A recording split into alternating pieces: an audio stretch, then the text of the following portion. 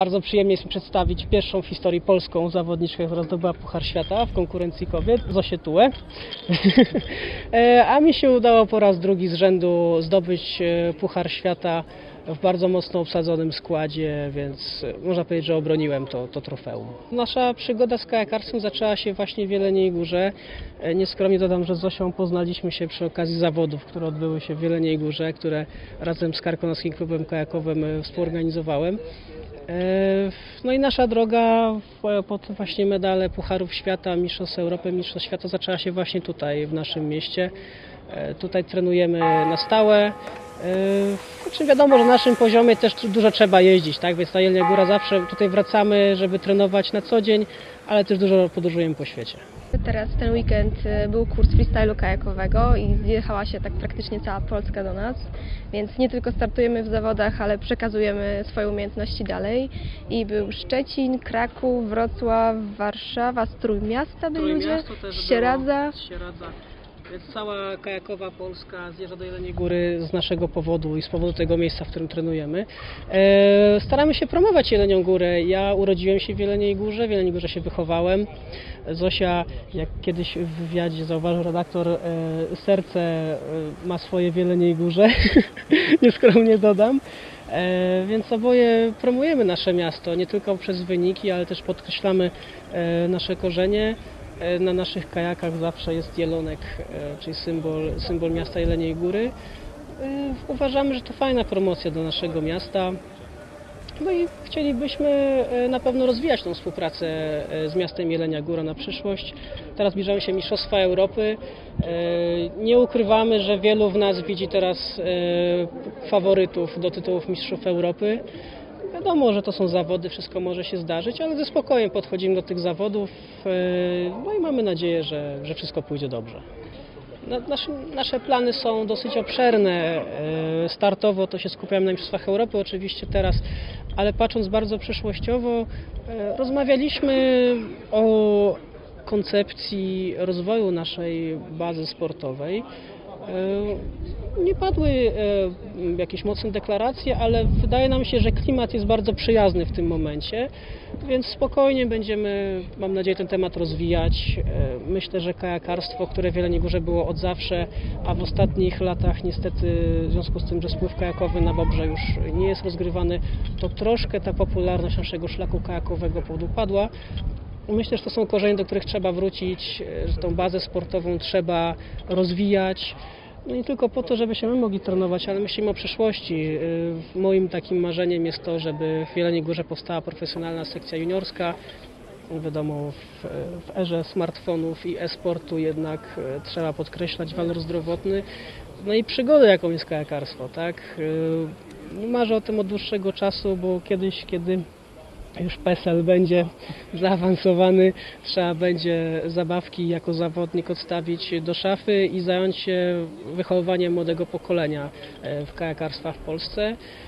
I na pewno rozwój tej naszej infrastruktury, którą zaczęliśmy tworzyć sami, rozwój tego miejsca treningowego na pewno by był w ten sposób bardzo przydatny i dałby szansę rozwijać się naszym następcom. Nie będziemy pływali wiecznie, chociaż w dalszym ciągu jesteśmy młodzi, tak? Ja dopiero skończyłem 30 lat, a legenda naszego sportu Eric Jackson zdobywał ostatni medal Mistrzostw Świata w wieku ponad 50 lat, więc to nie jest tak, że mnie czeka rychła emerytura. Zosia też jest dosyć młodą zawodniczką, bardzo perspektywiczną. Ale tak, patrzymy w przyszłość i chcielibyśmy, żeby to właśnie w Jeleniej Górze kajakarstwo się rozwijało i mam nadzieję, że tak będzie. W naszym klubie e, kwestia na rybku wygląda w ten sposób, że gdybyśmy mieli troszeczkę mocniejsze wsparcie, to tego na rybku byłoby dużo. E, Mamy nadzieję, że nasze sukcesy przyczynią się do tego, że współpraca e, z miastem się zacieśni i ten narybek będzie no, naprawdę w dużej ilości. Że to nie będzie narybek, to będą duże ławice kajakarzy e, młodych. Staramy się jak możemy, jako zawodnicy, jako trenerzy i ludzie się garną do naszego sportu. I co należy podkreślić w każdym wieku, bo e, to nie jest e, sport, który jest niedostępny. To jest sport, który jest dostępny dla każdego. E, Jeden, jeden z naszych przyjaciół, którego przykład lubię podawać, zaczął swoją przygodę w wieku lat 50 z freestylem kajakowym. Tak od podstaw.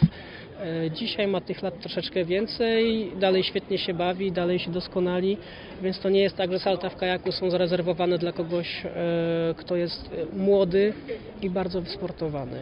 Nie, my, nasz sport jest o tyle fajny, że do pewnego poziomu każdy może dojść, do takiego poziomu, w którym będzie sprawiało mu to satysfakcję. No i też nasz sport wiąże się z tym, że to jest jednak powiązane z turystyką. My jeździmy po całym świecie do miejsc, gdzie są fajne fale, gdzie są miejsca sprzyjające, latamy na inne kontynenty. I to w tym sporcie też jest świetne, że nie zamykamy się na jednym stadionie, nie robimy treningu e, tylko i wyłącznie pod e, jeden start. My musimy cały czas się doskonalić, nasza technika musi być cały czas e, cały czas rozwijana, e, musi być elastyczna, cały czas możemy uczyć się nowych figur i pomimo tego, że zdobywamy Puchar Świata, cały czas jest jeszcze wiele rzeczy, których możemy się nauczyć i to tak naprawdę napędza nas. Zosia już wspomniała o tym, że no, za naszą sprawą tu przyjeżdżają ludzie z całej Polski i nie tylko, żeby z nami trenować, u nas się uczyć. E, Założyliśmy parę lat temu szkołę kajakową e, komercyjną, która organizuje wyjazdy kajakowe za granicę. Głównie skupiamy się wokół kajakarstwa górskiego i freestylu kajakowego, ale co by nie mówić, uczymy tego sportu, tak? Nauczamy od podstaw, e, zajmujemy się też treningiem zaawansowanym.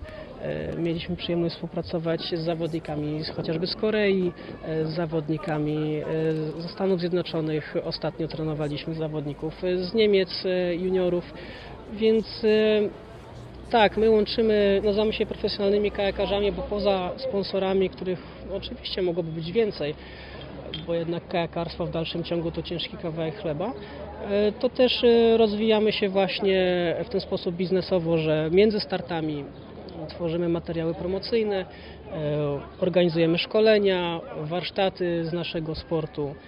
No i w taki sposób żyjemy. Cały czas bardzo aktywnie, dużo jeździmy, dużo podróżujemy i nauczamy innych. Ja tak zaczęłam w dzieciństwie z rodzicami. Pierwsza wyprawa to była moja i moich rodziców jednocześnie w 2000 roku rzeką Pylicą na takich dwójkach po nizinnej rzece. Później zawsze właśnie mnie ciągnęło do kajakarstwa górskiego, gdzie były bystrza, gdzie troszeczkę było trudniej i trochę adrenaliny. I pierwszy raz e, zobaczyłam właśnie podczas takiego spływu górskiego, że kajaki mogą być krótsze i można też na nich wykonywać figury. I strasznie mi się to spodobało i od tego czasu właśnie kombinowałam, jakby się tego nauczyć. Ja tak naprawdę zaczęłam w 2011 trenować już freestyle przed samymi Mistrzostwami Polski.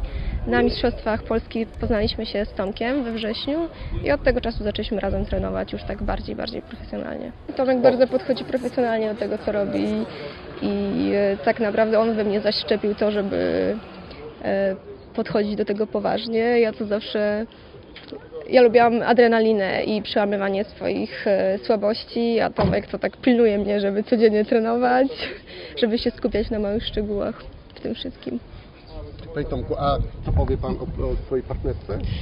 E, Powiem tak, e, zawodniczką jest naprawdę nieprzeciętną, e, jeśli chodzi o e, postępy, jakie czyni w treningu, to ona w ciągu tych siedmiu lat dogoniła całą światową czołówkę.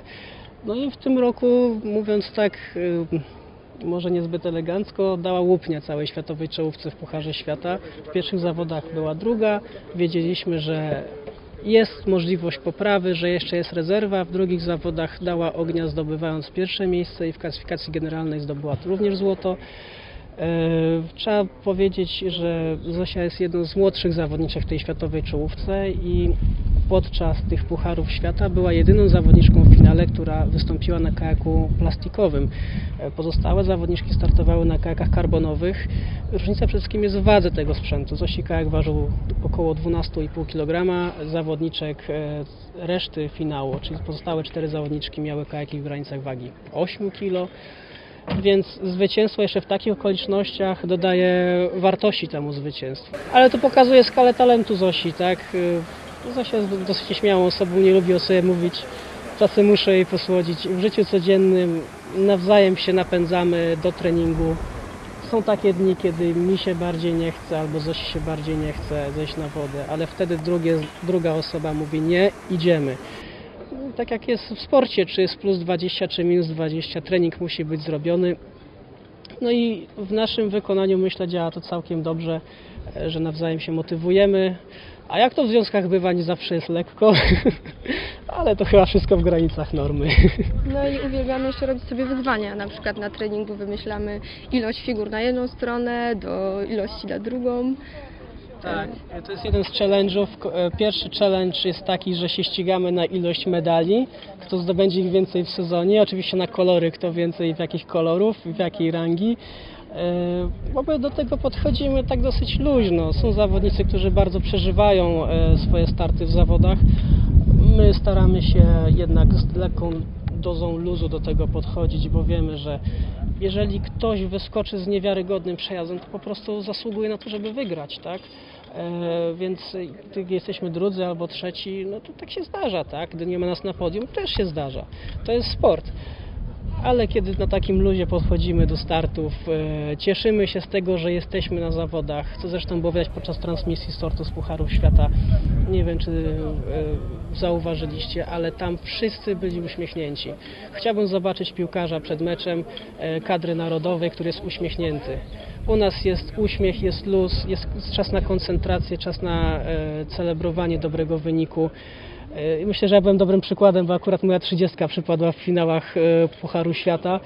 Ja się cieszyłem już z samego faktu, że tam jestem e, i to chyba też mnie poniosło do zwycięstwa. Jesteście szalenie popularni. E, Widzę to na, e, po, e, na Facebooku, jeżeli wrzucamy Wasze jakieś posty, komunikaty. Gdzie mogą Was zobaczyć fani w Jeleniej Górze, jak trenujecie? Jest takie miejsce?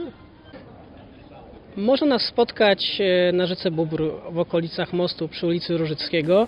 E, Tam jest nasze miejsce treningowe pod małą prywatną elektrownią wodną. E, W różnych godzinach tam bywamy, aczkolwiek teraz jesteśmy praktycznie codziennie popołudniami i zapraszamy, żeby nas po- podglądać trochę, bo my lubimy jak nas oglądają, ogląda widownia, to zawsze jest jakaś motywacja do treningu większa.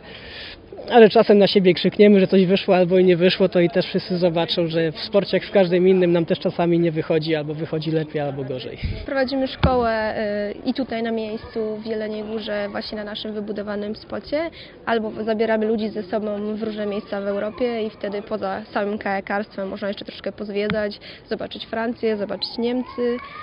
I chętnych zapraszamy na naszą stronę www.czeplickifan.pl albo przez nasze profile na Facebooku Tomasz Czeplicki Freestyle Kajaker i Zofia Tuła Freestyle Kajaker. Pozdrawiamy wszystkich naszych fanów. y, Wszystkich jeleniogórzan przyjaznych przy każdemu sportowi, przede wszystkim kajakarstwu. E, Cieszymy się, że jesteście z nami, że nas dopingujecie. Wasze wsparcie na Facebooku i w mediach, kiedy się okazują informacje o tym, co u nas słychać, bardzo nas motywują i pokazują, że to, co robimy jest bardzo fajne i też dzięki Wam odnosimy takie sukcesy.